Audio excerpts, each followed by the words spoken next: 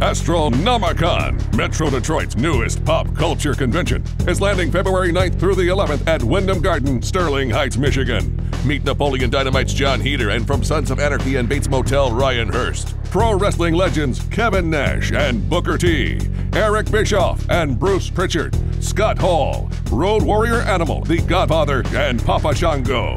AMC's comic book men, horror movie icons Sid Haig and Bill Moseley, Tony Moran, Kane Hodder, and Tyler Mane. Gamers, the angry video game nerd James Rolfe, the Game Chasers, and Pixel Dan.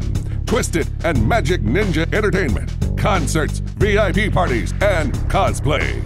It's Astronomicon. Toys, comics, video games, and fun for the whole family. February 9th through the 11th at the Wyndham Garden, Sterling Heights. Go to astronomicon.com for all updated event info.